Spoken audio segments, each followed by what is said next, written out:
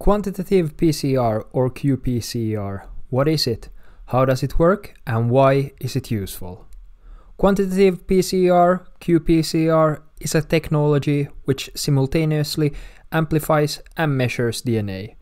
It is sometimes referred to as real-time PCR or even quantitative real-time PCR. In Swedish we say that a beloved child has many names and that certainly seems to be the case here.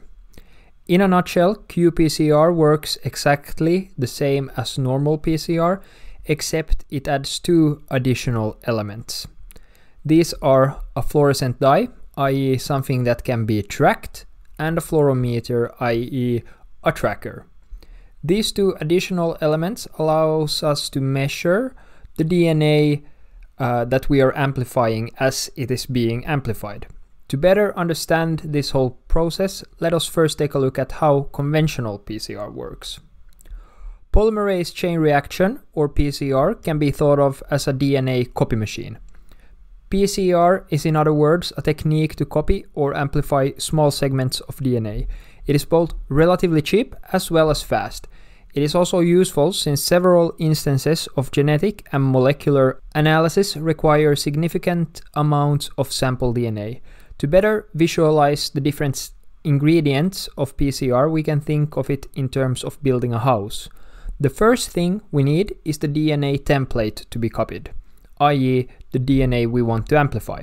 This would be the blueprint of the house. Second, we need DNA nucleotide bases or DNTPs. These A, G, Cs, and T bases are the building blocks of DNA after all. It naturally follows then that these nucleotides are the construction material from which we can build our house. Third, we need an enzyme known as Taq polymerase enzyme, which adds these nucleotides according to complementary base pairing of the DNA template. In other words, the Taq polymerase is our builder, which builds our house. Fourth, we need primers. These are short stretches of DNA that the Taq polymerase enzyme or the builder can attach to. In other words, upon which the builder can start building our house. So in this house example, these primers act as a foundation upon which the house can be built. Fifth and finally, we need a buffer to ensure that the right external conditions for the reaction is met. This can be thought of as nice weather, making the building process easier. Putting it all together, we have a builder, Taq polymerase, that starts building a house, new copied DNA sequence, upon the foundation, DNA primer. This builder assembles the building material, DNA nucleotides, according to our blueprint DNA template, while the weather is nice buffer. Hopefully that helps you to get a more clear picture of what's going on and to more easily remember all of the different ingredients in PCR. Now, let us take a look at how this entire process actually occurs or takes place inside the PCR reaction. But please, before that, if you're finding this video useful so far, give it a quick like to help me help more people. Thank you. So, the polymerase chain reaction can be divided into three main phases.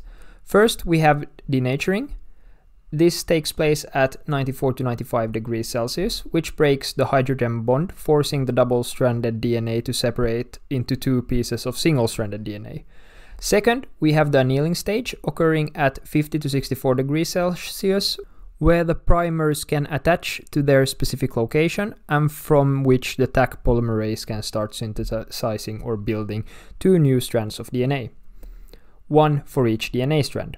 Third, the extending stage at 72 degrees Celsius, during which the Taq DNA polymerase synthesizes DNA, turning the two original pieces of single-stranded DNA into two pieces of double-stranded DNA. These double-stranded DNA molecules contain one strand of old template DNA and one strand of new synthesized DNA. During this process, the Taq polymerase adds complementary bases to the DNA template one by one. A to T, and vice versa, and C to G and vice versa.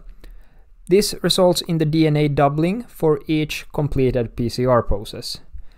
These three processes of thermal cycling, as it is called, is repeated 20 to 40 times, resulting in a huge number of copies of the original DNA sequence in a relatively short time. This is because the process is exponential since it doubles after every reaction. Now, how is qPCR different from normal PCR? Well, as I alluded to earlier, the main difference lies in the fact that qPCR allows us to measure the PCR reaction while it is still occurring.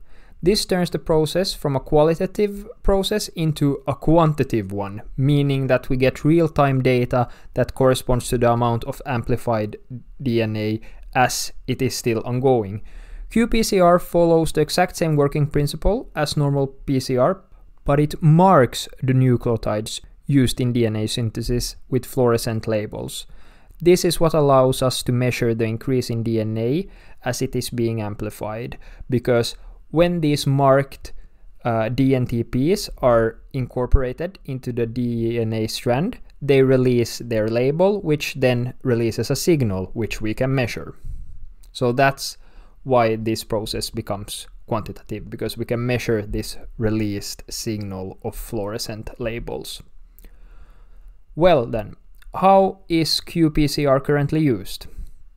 Quantitative PCR is currently used to detect identify and quantify microorganisms that cause diseases such as bacteria, viruses, and fungi. The lab tests for COVID 19 were usually carried out by PCR and qPCR, for instance. It can also be used to detect and quantify genetically modified organisms.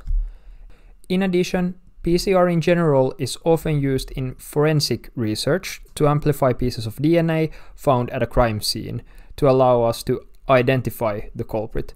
These are just a few of the many uses of qPCR. Now, there you have it. If you know someone else who needs to learn the fundamentals of qPCR, please send this video their way and help me learn more people about biotech stuff. Thank you so much. Otherwise, I am allowing the almighty YouTube algorithm to decide what video would be best suited for your particular need.